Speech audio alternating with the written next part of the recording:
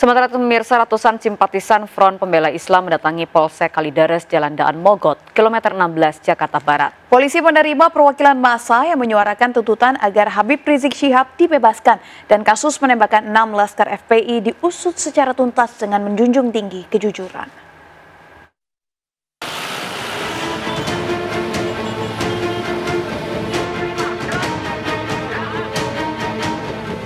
Ratusan anggota dan simpatisan Front Pembela Islam mendatangi kantor polisi sektor Kalideres, Jalan Dan Monggot, kilometer 16, Jakarta Barat.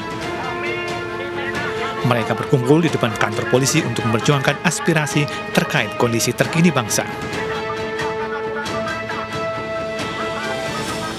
Khawatir mengundang kerumunan, polisi melarang mereka berunjuk rasa polisi menerima perwakilan demonstran yang menuntut pembebasan Habib Rizik Sihab serta penuntasan kasus penembakan 6 laskar FPI secara jujur sesuai fakta.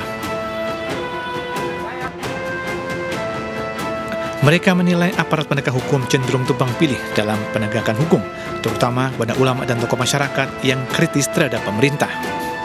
Karena itu, mereka mendesak agar segala bentuk kriminalisasi terhadap tokoh-tokoh kritis dihentikan.